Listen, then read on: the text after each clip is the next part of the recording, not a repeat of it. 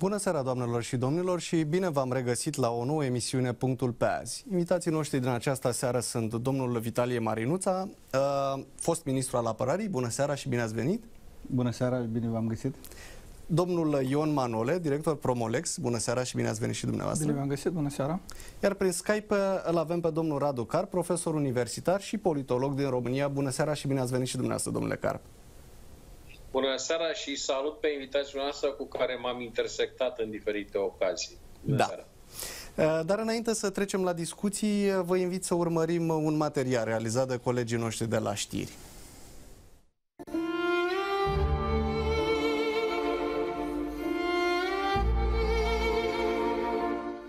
Așa arată astăzi orașul Port Mariupol. Cândva o mândria Ucrainei, localitatea este distrusă de ruși, iar imaginile sunt de-a dreptul apocaliptice. Oamenii care au mai rămas în oraș riscă să moară de foame și de sete. Nu sunt alimente, apă potabilă sau ajutor medical, toate blocate de armata rusă. Una dintre femeile gravide rănite săptămâna trecută în urma bombardamentelor maternității din Mariupol a murit. Medicii au încercat să-i salveze mai întâi bebelușul, însă acesta a murit în burta mamei. La scurt timp s-a stins și femeia. Bombardamentele rușilor au continuat și în alte orașe. La Harkov a fost un vacarm întreaga noapte din cauza exploziilor.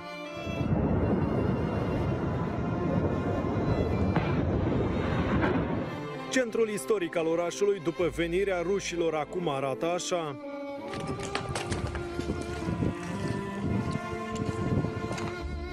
Într-o altă localitate, o bombă cade chiar în mijlocul unei zone aglomerate, distrugând totul pe o rază de zeci de metri.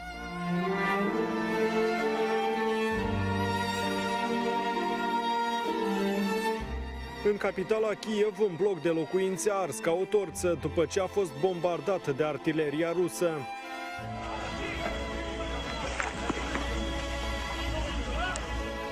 Militarii ruși au distrus și uzina aeronautică Antonov.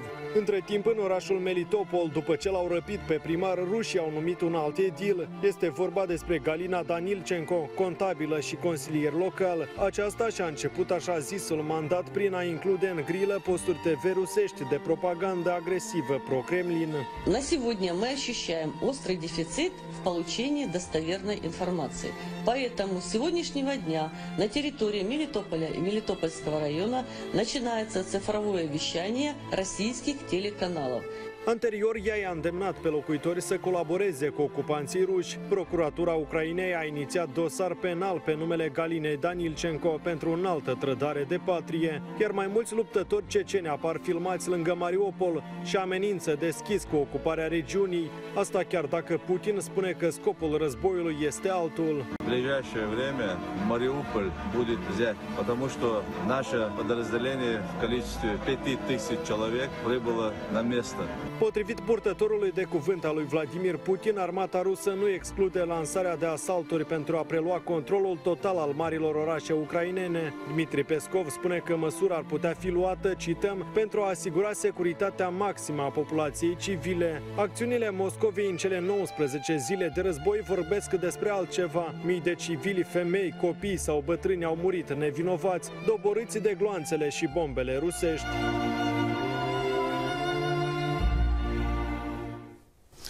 Da, așadar, uh, suntem în cea de-a 19-a zi de război. V-aș întreba pe dumneavoastră, domnule Marinuță, cum decurg ostilitățile și cât de dificil este pentru armata rusă să pătrundă în Ucraina, luând în considerare faptul că la începutul acestui, acestui război se vorbea de un blitzkrieg, dar deja vedem că au trecut aproape trei săptămâni și rușii nu se descurcă așa bine pe teren, așa cum s-au așteptat la început cel puțin. Deci vedem foarte bine că acele planuri care probabil le-au nezluit în birourile Kremlinului sau a FSB-ului nu s-au adevărit și ele probabil nici nu se vor, vor adeveri niciodată. Fiindcă ucrainenii au depus un efort enorm de a se consolida și ei își apără patria, își apără pământul său până la ultima picătură de sânge. Chiar așa putem să spunem. E adevărat, din start eu, cunoscând puțin, să spunem așa, domeniul militar, eram cunoașteți mai bine decât puțin. eram sceptic asupra uh, eficienței sau succesului acestei operațiuni, dar era evident că se dorește nu doar o înaintare pentru eliberarea, așa numită în ghilimele, a Donetskului și Luganskului, a celor regiuni, oblasti așa numite, dar se dorea un fulger, o înaintare fulger spre e, capitala, spre inima Ucrainei, e, Kiev. Și totodată probabil țarul de la Kremlin își dorea cu puterea mușchilor să arate că poate foarte repede ocupa și sudul uh, Ucrainei, adică să ajungă la Odessa, să uh, formeze acea Malorusie. Dar, uh, din câte vedem, nu i-a reușit nici măcar să stabilească o punte stabilă între Crimea, o punte terestră stabilă între Crimea și aceste două regiuni secesioniste. Deci, eu cred că este o, o înfrângere deja pentru Federația Rusă, pentru așa numita slavnică armata lor. Este o demonstrație foarte bună că nu și-au învățat lecțiile din uh, Anterioare. Cecenia, din uh, Georgia, din Siria și foarte mulți bani care au fost în ultimul deceniu uh, ei cred investiții, eu cred că aruncați în vânt sau furați Uh, nu și-au făcut uh, acea uh, sau nu a dus la acel rezultat care și l-au dorit Putin și echipa lui. Deci, eu totuși cred că vor merge până, în, până la capăt rușii, dar și dârzenia ucrainienilor este de invidiat și eu spun că bravo lor și mai mult decât a făcut acest război, probabil nu a făcut nimic și nu ar fi putut să facă nimic pentru a pune împreună așa națiune, națiunea ucraineană. Da. Domnule Manole, ONU a dat astăzi o serie de cifre și anume 2,8 milioane de refugiați deja din, din Ucraina. Sunt deja mii de victime și din rândul civililor și aș vrea să vă întreb pe dumneavoastră cum, cum evaluăm situația de acolo. Vorbim despre crime de război, despre ce vorbim mai exact în, în, în Ucraina în momentul de față? În primul rând vorbim de un război, desigur. Dar în, ca în orice război, uh, crimele sunt prezente și mai ales într-un război de o astfel de amploare, ne dăm foarte bine seama că există semnele unor numeroase crime de război în acest, uh, în acest conflict sau în această agresiune împotriva Ucrainei. Este greu să privești aceste imagini, este greu să îți imaginezi prin ce trec acești oameni. 2,8 milioane de refugiați. Eu cred că numărul lor este mult mai, mai mare. mare. probabil. Există un număr foarte mare de oameni care s-au strămutat intern, adică au plecat din zonele de conflict spre alte zone mai liniștite ale Ucrainei. Vedem aceste coridoare pe care le organizează puterea de la Kiev, pentru a salva viețile omenești și pentru a scoate acești oameni, bătrâni, copii, femei, din uh, zonele unde, uh, unde, unde, unde sunt încercuite, cum ar fi Melitopolul sau cum ar fi Energodarul, și respectiv uh, eforturile lor dau roade, dar și acestea sunt uh, sabotate. Dar și am văzut că sunt sabotate aceste Exact. Exact. Chiar, chiar coloanele cu, cu persoane care fug din calea războiului, pentru că nu mai au apă, nu mai au energie electrică, pentru că în condiții inumane de trei săptămâni, practic, uh, um, locuiesc sau rezistă în acele localități bombardate. Vorbim de o criză umanitară deja la Mariupol? Eu cred că putem cu siguranță afirma acest lucru. Este o, o criză foarte gravă. Uh, ucrainenii încearcă disperat să ceară ajutorul comunității internaționale.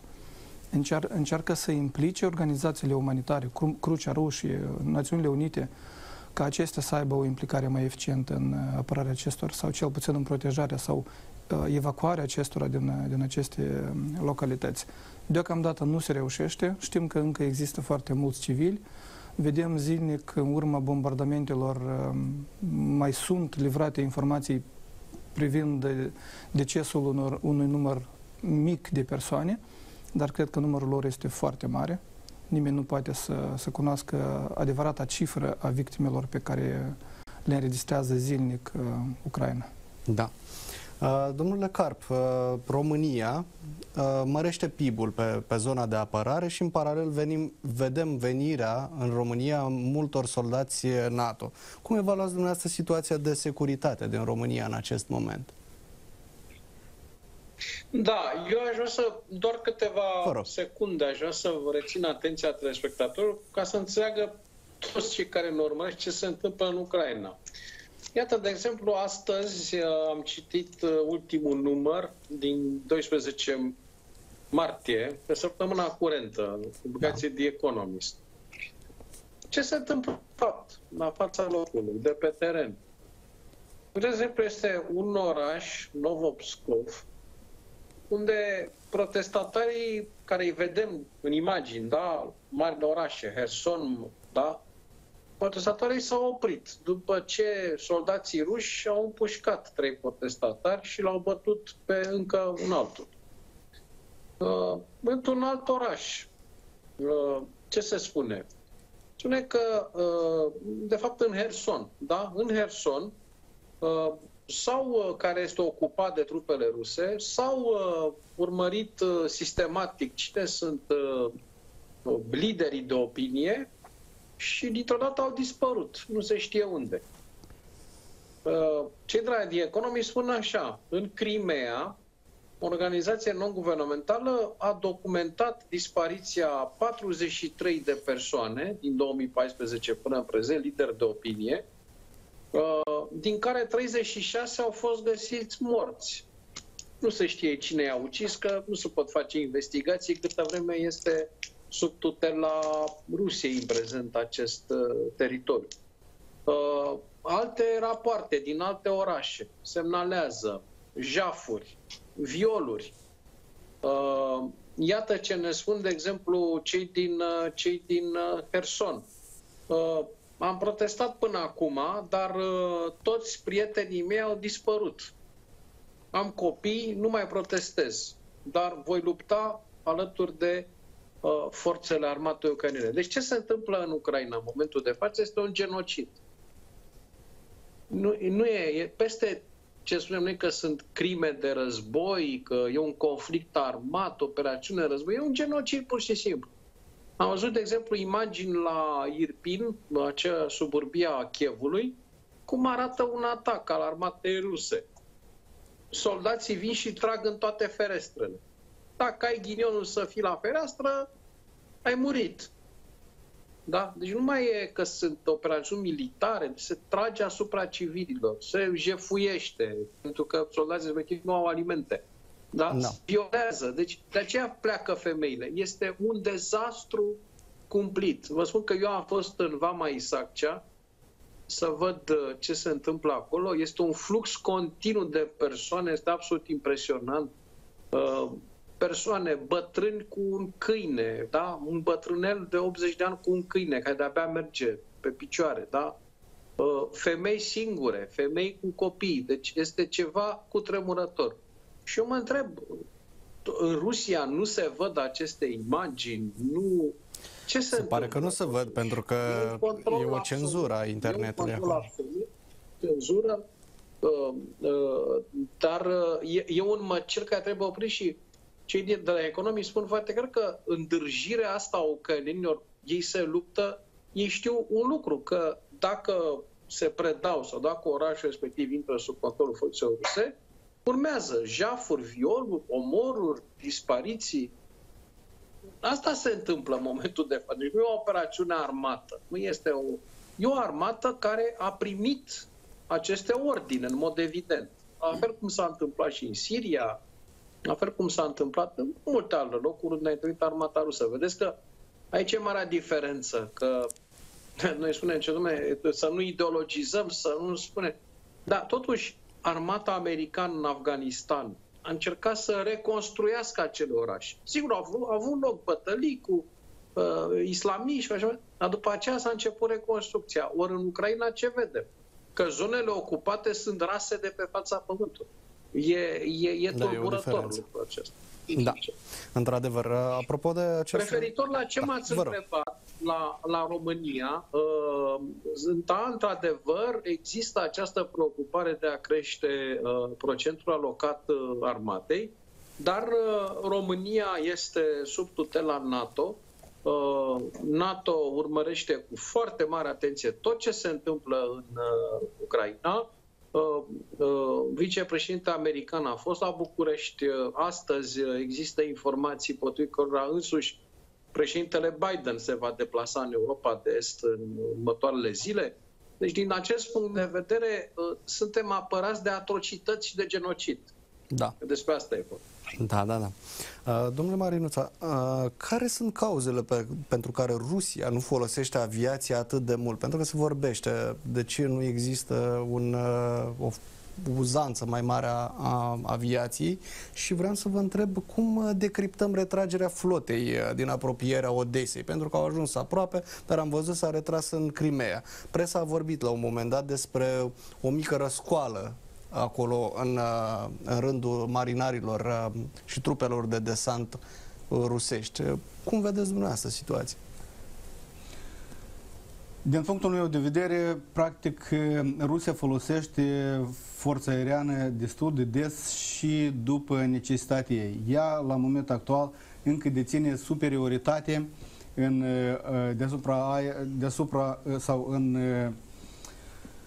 deasupra Ucrainei. Și unica de ce nu folosesc atât de mult, fiindcă totuși au o temere față de uh, instalațiile antiaeriene ale Ucrainei. Să nu uităm că Ucraina la începutul uh, acestui război avea, dacă nu mă greșesc, 31 de divizii antiaeriene. Asta nu e Georgia 2008, da? da? Dar Georgia în 2008, cu acele capacități foarte mici, slabe, având instructori din Ucraina, da? a putut să doboare 9 avioane în 5 zile. Iar aici noi vedem că avioanele rusești cad ca muștele în fiecare zi câte două, trei, helicoptere, da. de asemenea multe. Deci, deocamdată ei încă nu au putut să nimicească complex sau să-l aducă la o, un coeficient destul de mic acel scut care îl are antiaerian, care îl are Ucraina. Asta în, în primul rând. În al doilea rând, eu cred că ei nu au capacitatea de a ridica de la sol avioane atâtea câte le au într-adevăr. Știm că rușii sunt, este un cuvânt așa în limba rusă, bezalaberne, da? Ce adică ei fac totul pe dos. Sau hai ca trece așa, calea valea se dau bani pentru reparație, jumătate se face, jumătate se fură, se scrie... Vorbim de corupție. Se scrie că, da, sigur că corupție, se scrie că e făcut, se raportează sus, medalile s-au primit și gata. Dar când vine ordinul de a zbura, atunci nu se mai zboară. Acesta tot este un subiect care l-am discutat și cu unii foști colegi de mei, care sunt în Rusia, văzând cum ei discută între ei, este și așa problema. Da. Ceea ce ține de Odessa. flota de la Odessa, eu n-aș fi atât de convins că ei au plecat pentru a nu se întoarce. Deci, din punctul meu de vedere, odată ce forțele armate ale Ucrainei opun o rezistență enormă de care nu s-au așteptat nimeni, însuși ucrainenii nu s-au așteptat că va fi în așa mod. Nu s-au așteptat că Harkovul atât de mult se va lupta și nu se va ceda. Este un oraș rus, da. practic. Însă Harkovul luptul. Ei încă n-au luat niciun oraș 100% în Ucraina. 19 zile de război. Și atunci acea uh, intenția lor de a ocupa, de a cotropi Odessa foarte repede, a ieșuat și au fost nevoiți să-și retragă trupele pentru direcția de, zba, de bază Kiev. Și în aceste condiții nu era necesar de a ține pur și simplu flota acolo și eu cred că s-a făcut o manevră de retragere, de regrupare și atâta timp cât încă Nicolaevul rezistă, flota și desantul rusesc va fi în Crimea. Odată ce, dacă se întâmplă că ei ori încercuie Nicolaevul și îl, îl lasă într-o parte, atunci cred că Rusia va încerca totuși unica fortăreață maritimă la Marea Neagră, Odessa, să o cucerească. Da. Asta vom vedea în următoarele săptămâni, eu cred. Domnule Manole, cum evaluați dumneavoastră criza umanitară din Republica Moldova și cum se descurcă autoritățile împreună cu voluntarii, ONG-urile care ajută în aceste zile la dăpostirea refugiaților din, din Ucraina? Efortul Republicii Moldova este impresionant, după mine. Deci știm că per capita Moldova are cei mai mulți refugiați din, din țara vecină. După mine ne-am descurcat destul de bine, chiar dacă nu este meritul în totalitate al autorităților, pentru că în mare parte anume oamenii s-au mobilizat, oamenii au gestionat foarte bine această situație, această criză, s-au implicat și dar nici autoritățile nu s-au descurcat atât de rău, deci da. într-un final lucrurile stau bine, Moldova este apreciată pentru, acest, pentru această gestionare a crizei și sperăm foarte mult că în următoarea perioadă vor unde vor, vor putea să, să reziste, să continuă această... E mult? E peste puterile Republicii Moldova 100 de mii de refugiați cât sunt în prezent? Eu cred că logistic noi suntem în stare să, să asistăm aceste persoane, deci va trebui doar să, să vedem dacă numărul lor va fi în continuare mai mare. Da. Domnule Carpă, v-aș întreba pe dumneavoastră, pentru că am văzut că uh, cel puțin aviația uh, rusească a început să bombardeze și vestul uh, Ucrainei și mă refer aici la orașul Liov. Să apropie cumva aceste bombardamente de granițele NATO și cred că Polonia nu este tocmai liniștită din, uh, din această privință. V-aș întreba pe dumneavoastră uh, cât de, cât de departe ar putea merge Rusia în a provoca NATO până la granițele ei? În momentul de față, Polonia are o graniță de peste 600 de kilometri cu Ucraina. Această graniță este doar pe hârtie, pentru că e vorba de un aflux continuu de oameni care se refugiază din Ucraina în Polonia, precum și de ucraineni care se întorc să lupte pentru țara lor și vin prin Polonia. Și în afară de asta există ajutoare umanitare care intră în Polonia și arme, muniție. Cum își imaginează Vladimir Putin că poate să controleze un coridor de 600 de kilometri? Da. Da. Despre asta discutăm. În condițiile în care armata rusă, pe o rază aproximativă, care este litoralul Mării Negre, n-a reușit să captureze decât un oraș. Sigur că a fost această încercare de intimidare, uh, de bombardament asupra acelui aeroport uh, aproape de Lviv și aflat la granița cu Polonia. Dar cam atât s-a putut. Și v-aș, întreb, v-aș întreba pe dumneavoastră, domnule... Un bombardament care n-a atins niciun echipament militar care urma să atingă Ucraina. Dar vedeți, aici e marea problemă, că Rusia ne spune că distruge echipamente militare și omoară 35 de oameni în schimb.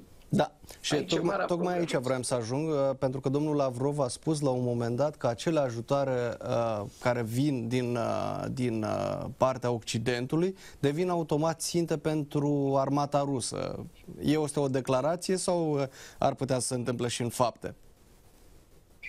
Da, de la vrea, de la vrea până la putere, o distanță mare. Respectiv, sunt convins că partea rusă ar dori să distrugă orice fel de ajutor acordat Ucrainei, fie că e vorba de umanitar, medical uh, sau armat. Dar, repet, dintr-o mare operațiune care a fost precedată de aceste declarații ultrabelicoase la adresa Occidentului, ce am văzut? Am văzut un atac asupra, mă rog, asupra două aeroporturi, pentru că era vorba și Cecenii Ivanov Franchis, și Uh, pagubele materiale sunt minime, dar în schimb au murit 35 de oameni. Deci asta, asta e marea problemă cu Rusia. Că uh, uh, războiul este țintit în momentul de față împotriva civililor. Astea sunt distrugere din Ucraina. Uh, și deși s-a spus că există investigații încă din această etapă ale Tribunalului Penal Internațional, da? și că există echipe pe teren care investigează aceste crime, uh, ele continuă. Toate aceste distrugeri continuă. Uh, mă întreb, chiar și uh, distrugerile astea de locuințe, de blocuri, da? cum am văzut, uh, cine le va plăti până la urmă? Uh, o soluție este ca uh, toate, uh, cum să spun, să existe o răspundere a Federației Ruse materială pentru toate aceste distrugeri provocate.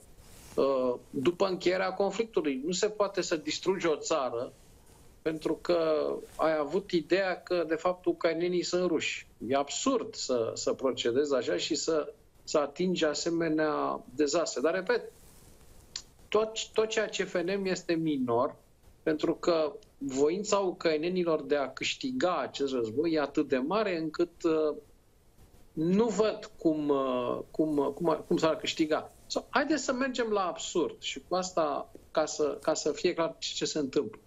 Să presupunem că rușii primesc un ajutor din partea extraterestrilor, nu știu, și cuceresc și îndeplinesc toate obiectivele. Kiev, Marea Neagră și mai departe. Da. Cine garantează lui Vladimir Putin că un lider uh, marionetă ajuns la putere uh, prin forța armată nu va fi dat jos de la putere și va apărea un alt lider ucrainean care va dori tot orientare pro-europeană. Aici e, aici e stupidul situației, că obiectivul lui Vladimir Putin nu se poate atinge. Hitler a mai avut același obiectiv uh, prin a aduce la putere tot felul de personaje loiale, dar istoria ne învață că aceste personaje loiale, până când s-au confruntat cu furia populară, uh, au trădat cauza Germaniei până la urmă. Cum adică, vedeți, sau cum, dacă cum vedeți dumneavoastră o... ținerea în culise a domnului Ianucovici, se pare în Belarus, pentru, tocmai pentru înlocuirea uh, actualului regim de la, de la Kiev? Ce mișcare este aceasta? Cred că orice om din Ucraina, în momentul de față, știe faptul că domnul Ianucovici a plecat cu câteva miliarde la el în 2014, după uh, sângerosul Maidan.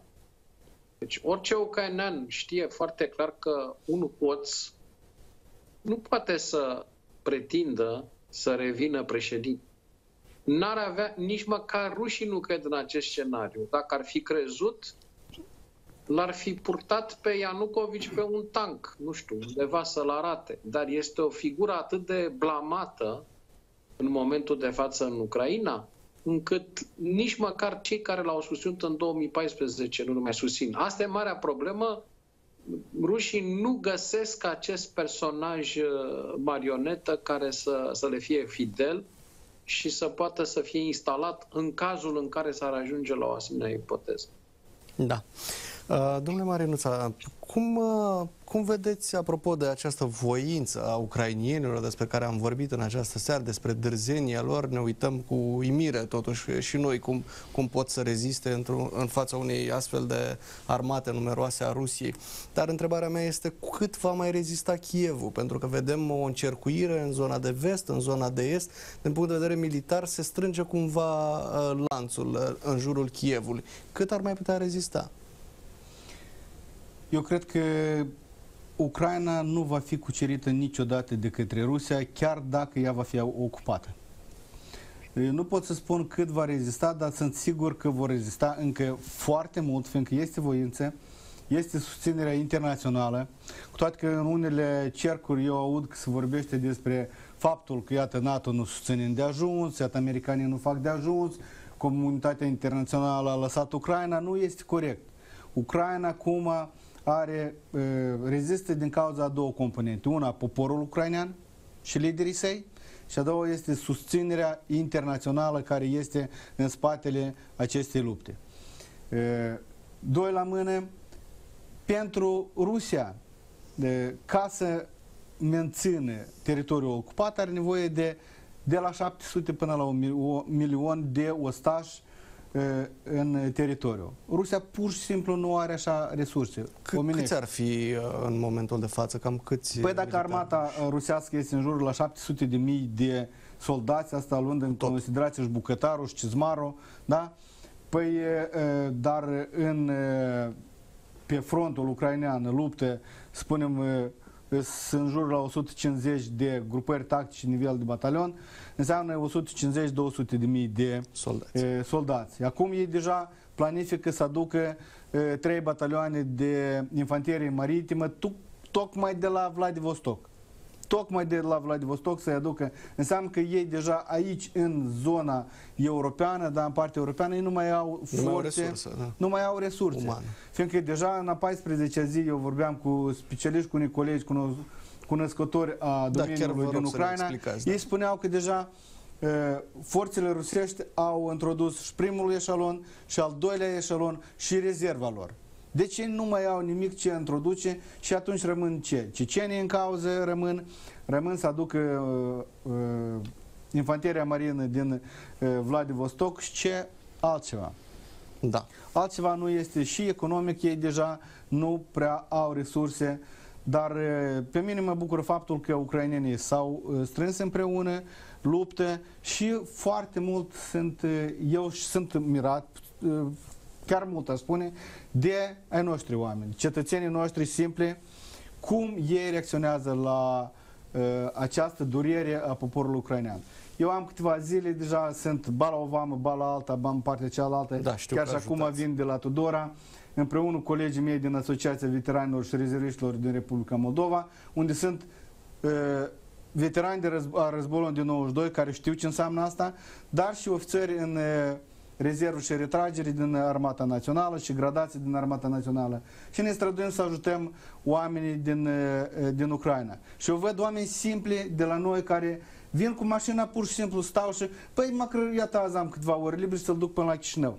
Iată, asta înseamnă că uh, Ucraina are susținerea din partea uh, comunității internaționale și eu mă mândresc de oamenii noștri. Da. Și ultima care vreau să spun, Bun. să ne întoarcem înapoi, să ne uităm la al doilea război mondial, da?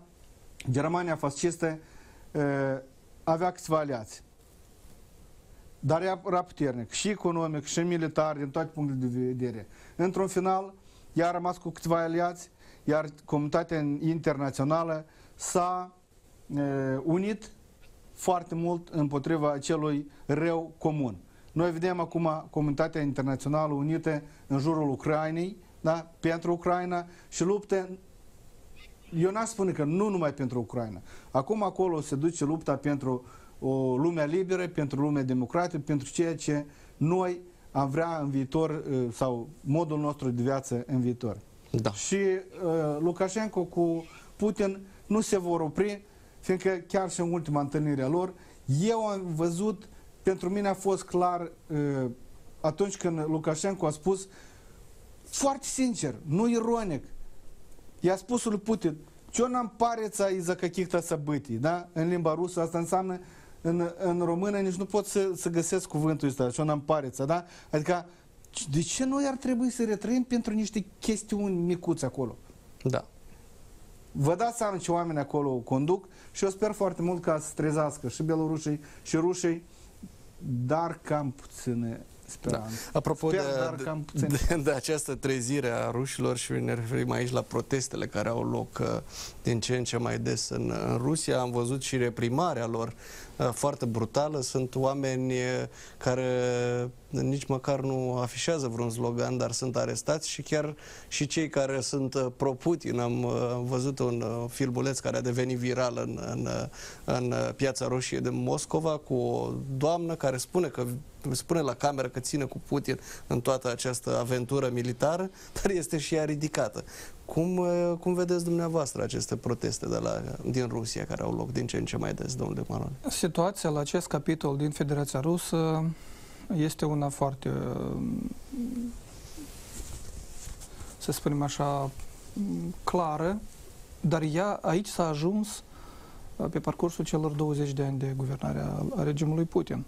Deci să ne mintim că atunci când a preluat puterea, imediat s-a apucat de presă, imediat s-a apucat să uh, îngrădească drepturile omului, imediat a început să persecute și chiar să omoare jurnaliști. Deci, acest lucru s-a întâmplat pas cu pas. Atunci când un om are toată puterea în mâna lui, atunci nu mai există democrație. Noi în Republica Moldova știm că suntem de foarte multe ori obosiți, uh, dezgustați de, de democrație, de drepturile omului. Oamenii simpli nu înțeleg sau nici nu vor da, să pun înțeleagă. Uh, lipsurile materiale înainte exact, acestor libertăți. Deci jocurile politice, nu știu ce, nu știu cum, de fiecare dată se justifică Dar uh, noi acum avem șansa să înțelegem cât de valoroase sunt aceste valori, cât de importante sunt aceste valori pentru fiecare dintre noi și cât de importante sunt uh, alegerile libere, într-un fel.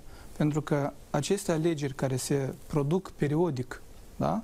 care se organizează periodic și nu, nu permit unui grup de persoane sau unei persoane să preia toată puterea în mâna lui.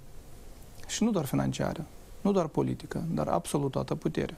Pentru că în momentul în care o, o persoană sau un grup de persoane are absolut toată puterea în mână, uh, drepturile omului pentru ei nu mai contează, uh, persecutarea, persecutarea oamenilor din, din țară este, atinge cote maxime, cum s-a văzut în Federația Rusă, deci au fost împușcați liderii, uh, cei, cei din opoziție mă refer, au fost, uh, uh, toate organizațiile neguvernamentale, practic, au fost uh, declarate agenți străini, nu aveau dreptul să, să-și desfășoare liber activitățile. Au fost, deci aici s-a ajuns pas cu pas. Acest lucru este regretabil pentru că din 2000, atunci când s-a pornit toată această, acest val, de atunci noi, cu toții, trebuia să luăm atitudine și să facem în așa fel încât puterea să nu fie concentrată în mâinile unei singure persoane. Da. Și aici au o mare responsabilitate și organizațiile internaționale. Am vorbit pe parcursul acestor 20 uh, de ani de, de când uh, sunt în uh, acest domeniu, mă refer la organizații de drepturile omului, despre necesitatea reformării instituțiilor internaționale. Și aici nu vorbim doar de OSCE care l-am văzut pe teren, da? că da. nu este capabil și nu nu, nu poate influența sau nu poate ajuta absolut cu nimic. Din potrivă, doar, a, doar, asista, doar am asistat datorită lor la anumite degradări. Dar vorbim despre toate organizațiile internaționale. Mai eficientă, cea mai eficientă era Consiliul Europei, pentru că avea Curtea Europeană, care constata anumite fapte și, și sancționa statele care încalcă drepturile omului, dar uh, am văzut că Federația Rusă în ultimii ani, în ultimii 10 ani, practic, a refuză să execute și hotărârile Curții Europene. Da. Deci, chiar a ieșit, îmi pare că din... Uh, încă nu. Da. Încă nu, se, se discută, uh-huh. dar încă nu. Deci a, este o problemă pe care a, uh, trebuie să înțelegem cu toții. Dacă astăzi închidem ochii la o încălcare a drepturilor omului, mâine va fi mai rău. Da. Și totul se, va, se poate repeta, totul se poate degrada și se poate ajunge la astfel de conflicte când astăzi cu toții suntem șocați și devastați de această... Da. Domnule Carp, dacă mai, mai sunteți cu noi, aș vrea să vă întreb apropo de aceste revolte de la Moscova. Da, domnul Carp nu mai este cu noi. Atunci o să trec și o să-l întreb pe domnul Marinuța. Cum, cum vedeți aceste revolte de la Moscova și care ar fi condițiile pentru căderea regimului Putin, dacă putem vorbi cel puțin la acest moment despre așa ceva? Deci, totuși, speranța este că poporul rus se va trezi. Speranța este mică, dar totdeauna în Rusia au fost, chiar cât de grele n-au fost represii, au fost oriente și împotriva regimului cât de crunt n-ar fi fost. Problema e că o bună parte din conducerea Rusiei este zombată, este îndoctrinată în așa mod că ei practic vor uh, nimici cu foarte mul multă cruzime toate aceste revolte. Eu mă uit, am, am făcut anul trecut un studiu în regiunea Rezani, unde am învățat eu, practic discutând cu unii colegi de acolo, unele cunoștințe, începând de la șeful poștei, terminând cu șeful administrației regiunii, da, toți sunt foști militari în rezervă. Da? Practic, toți sunt între acești 20 de ani de e, împărăție a lui Putin, da? Ei au, el și-a făcut atât un sistem în care și e, domeniul civil și domeniul militar este controlat de oameni gradați, practic. Unul la mână. Doi la mână, eu anticipez că în viitor în Rusia va fi un teror mult mai mare decât acum.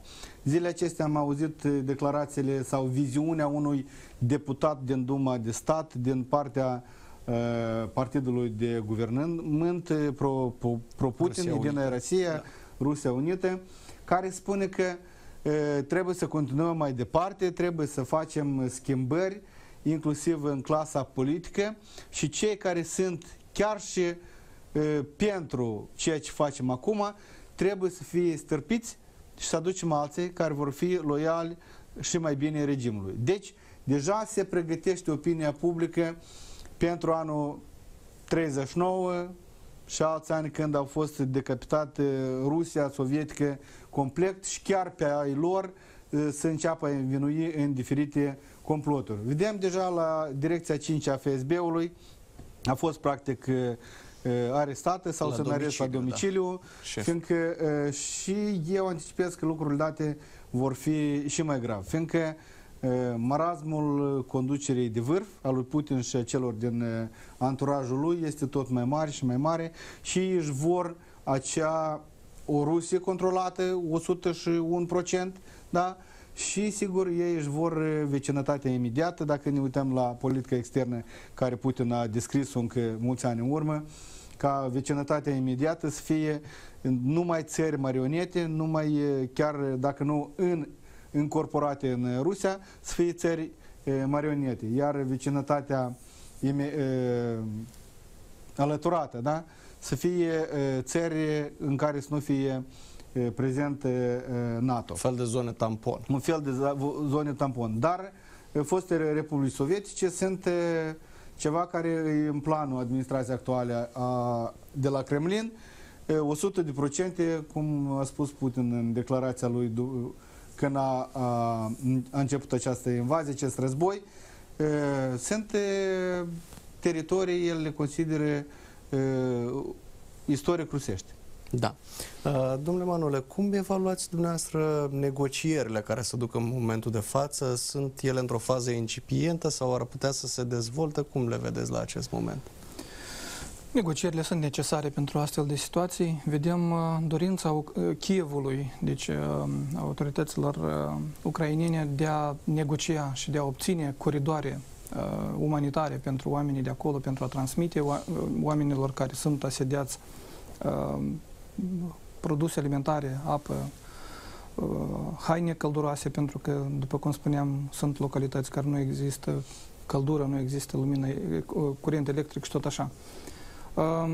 Eu cred că, în primul rând, Ucraina are nevoie, tocmai și insistă pentru, în aceste negocieri, tocmai pentru a asigura cetățenii și oamenii care se află în situații complicate cu cele necesare. Ce vrea Federația Rusă este foarte clar, este dorința de a obliga, forța Ucraina să recunoască Crimea teritoriul rusesc, adică să nu mai pună întrebări și să nu mai discute niciodată despre uh, ocuparea Crimeei și, pe de altă parte, să recunoască așa zisă independența celor două regiuni uh, și enclave separatiste din estul Ucrainei. Ceea ce Ucraina deja nu mai poate face, pentru că s-a plătit un preț foarte mare, deci am văzut distrugerile uh, care au avut loc pe parcursul celor trei săptămâni, am văzut miile de oameni uh, și victime omenești, Ucraina nu are cum să, să, să meargă la astfel de condiții și evident că aceste tratative uh, au pro, probabil menirea doar să dea timp, răgaz celor două părți să-și mai... Uh, Dar se pot înțelege cele două părți, mă refer la discuții bilaterale sau este nevoie de un terț în aceste discuții? Am văzut Israelul în, ultima, în ultimele zile că se se autopropune în aceste Nu cred discuții. că Federația Rusă va accepta. Pentru Ucraina este salutabil, este de dorit ca cineva să intervină, să-i ajute în aceste negocieri foarte complicate și de, dificile cu, în, și în aceste condiții cu Federația Rusă, dar nu cred că Federația Rusă va accepta. Da.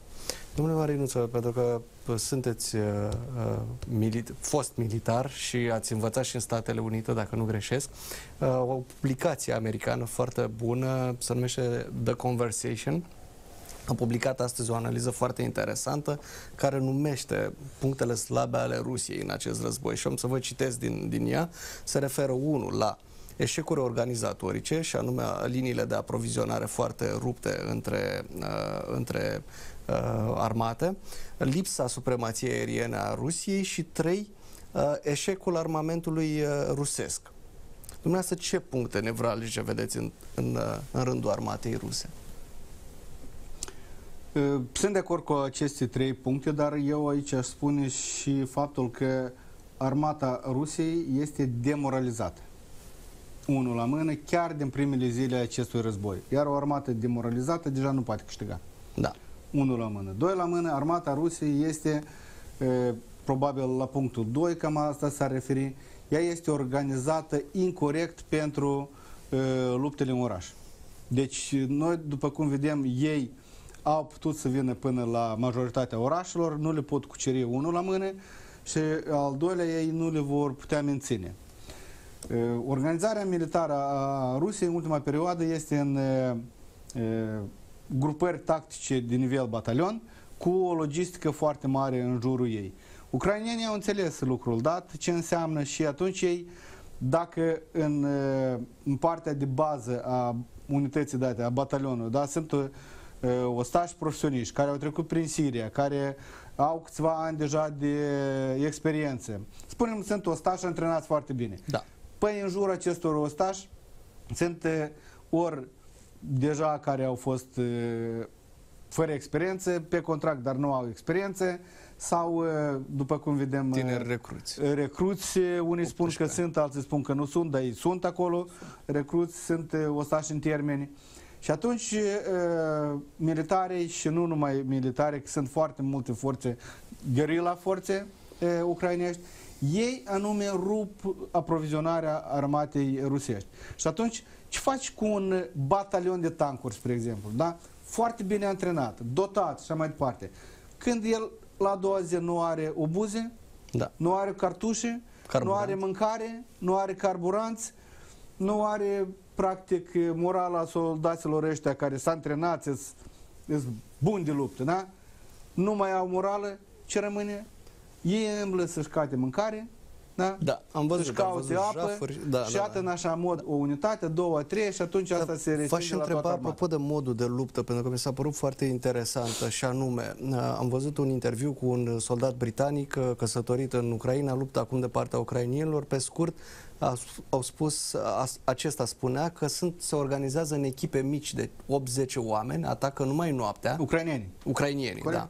Și vedem pe de altă parte și dorenele turcești, Bayraktar, care funcționează foarte bine. Deci, cumva, lupta se duce între această armată regulată a Rusiei de tip clasic și acest tip de război modern, de gherila, aș putea spune, în partea umană și de drone în partea tehnologică.